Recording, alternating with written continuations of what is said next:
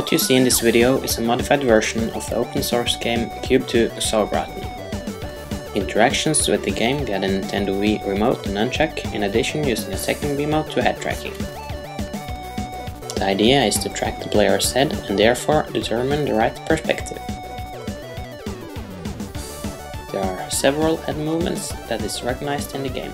You can tilt your head to the left or the right, go closer or away from the screen. You can also move left or right.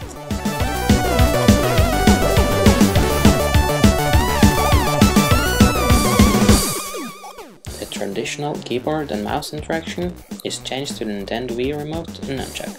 You interact with the joystick at the nunchuck as you would use your mouse. By using the keypad at the Wiimote you move the player.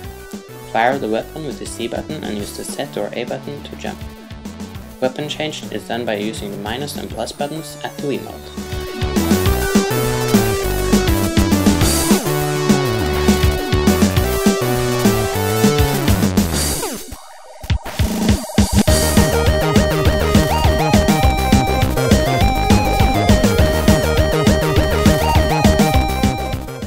By placing the second remote under the screen, as you can see here, we are able to track the infrared sources at the modified safety glasses. Here we are showing you how it looks if you track the video camera.